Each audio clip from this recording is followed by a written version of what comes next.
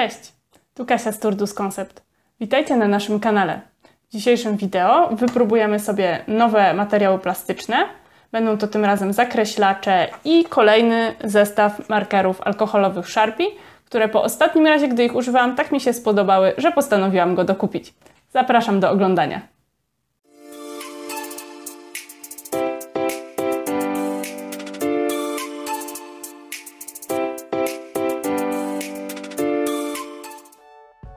Zakreślacze zawierają tusz na bazie wody, natomiast markery Sharpie na bazie alkoholu, także ich kolory nakładają się bardziej równomiernie i lekko się blendują.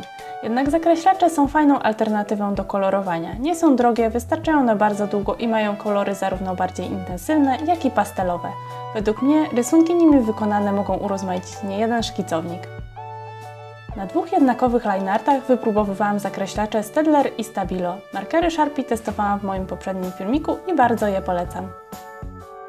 Zakreślacze Stedler na ostatnim kupionym przeze mnie papierze do etykiet nanosiły się bardzo przyzwoicie jak na mazaki wodne.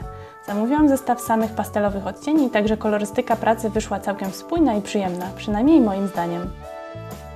Z zestawu Stabilo chciałam wypróbować wszystkie kolory, zarówno pastelowe, jak i neonowe, dlatego drugi obrazek wyszedł kolorystycznie nieco szalony. Możecie dać znać w komentarzu, która jego wersja bardziej Wam się podobała.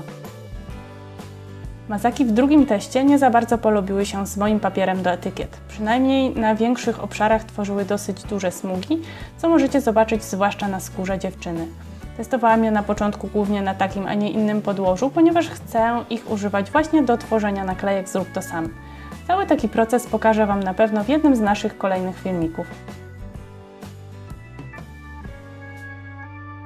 Z powodu tych delikatnych smug przetestowałam je jeszcze od razu na zwykłej kartce Xero, ale ona jak za chwileczkę zobaczycie bardzo mocno się pofalowała. Kiedy wyschła wyglądała już całkiem nieźle.